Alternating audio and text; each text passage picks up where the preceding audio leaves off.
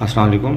आज मैं आपको अपनी शक्कर एक और मैंने शक्कर कट किया था उसके बारे में बता रहा हूँ और उसका स्टेटस दिखा रहा हूँ। ये माशाल्लाह अभी फ्लावरिंग पे भी आ गया मतलब फ्लावर्स तो उस वक्त बट्स तो लगे हुए थे लेकिन अब ये ब्लूम पे भी आ गया फ्लावर और ये सब का सब जो है आ, पानी में ही हो रहा है। और अब आप देखें इसकी रूट्स काफ़ी माशाल्लाह से अच्छी हो गई हैं। और अब मैं इसको सोच रहा हूँ कि मैं इसको हाइड्रोपोनिक सिस्टम पे लगाऊँ। और देखें तो काफ़ी ह्यूज प्लांट है और माशाल्लाह हेल्दी शक्कर था, जिसको मैंने कट किया था अपने प्लांट में से।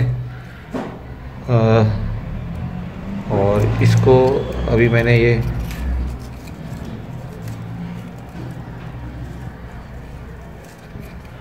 सॉरी इसको मैंने इसी तरह अटकाया हुआ था सीडलिंग ट्रे से। तो ये मेरे क्ले पेबल्स हैं। और ये मेरा है पुराना एक ग्लास है जिसमें होल्स भी हैं। इसको थोड़ा सा बड़ा होल करके और क्ले पेबल्स डाल के फिर इसको मैं इसमें डालूँगा। इसको साइडों से यहाँ से अभी मैं इस नाइफ से कट करूँगा और फिर मैं इस इसमें लगाऊँगा जो मैंने ये न्यूट्रन बनाया हाइड्रोपोनिक का उसके अंदर मैं इसको ट्रांसप्लांट करूँगा। तो अभी इसको मैं काट लूँ नाइफ से और फिर इन आपको इसकी अपडेट देता हूँ। तो कुछ इस तरह से मैंने ये अभी काटा है मतलब कट तो नहीं रहा था, फिर मैंने यही किया कि कुछ चीज़ गरम करके चूल्हे पे और उसको, छुरी को इस तरह से मैंने कराया। अब ये मेरा, मेरी वही, क्या कहते हैं शकर है। ये मेरा वही शकर है जो मैंने कट किया था एक नया शकर कट किया था, और इसकी रूट्स अब आप देखें, माशाल्लाह डूइंग ग्रेट ज़बरदस्त रूट्स निकल आई हैं। तो अब जो है, इसको मैं लगाने जा रहा हूँ, और इस तरह से, जैसे आपको मैंने पहले भी एक दफ़ा बताया था, कि ये इस तरह से रखा, ठीक है? कोशिश ये होती है कि बीच में से कुछ रूट्स वे निकाल सकूँ या इसमें एक अटका सकूँ, ठीक है?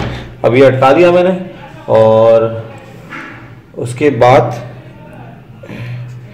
इसको थोड़ा सा पकड़ के, ये मोटे वाले जो हैं, थोड़े से क्लेपेबल्स मैंने यहाँ फंसाए काए ठीक है?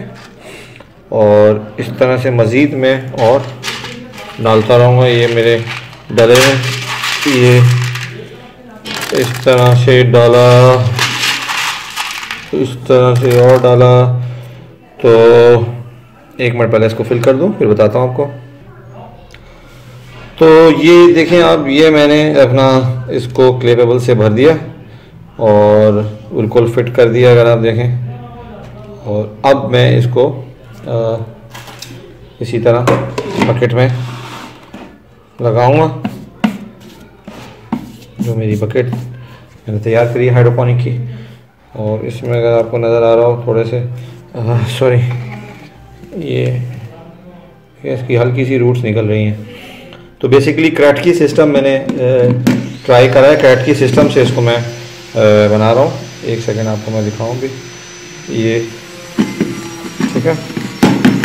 थोड़ी सी मुझे प्रॉब्लम होगी क्योंकि ये गिलास इसके साइज़ का नहीं है बहरहाल। लेकिन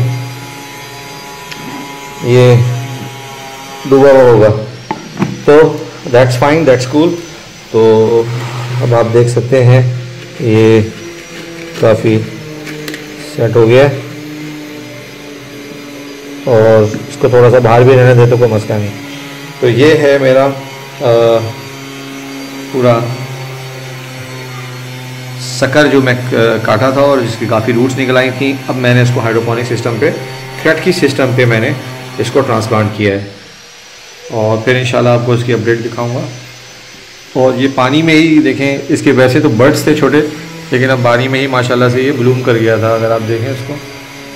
तो ये देख रहे हैं आप, इसको हल्के से जब बर्ड्स ब्लूम कर जाए तो इसको हल्का सा इसको इस तरह से टच कर दिया करें या ऐसे आप हाथ से मार दिया करें।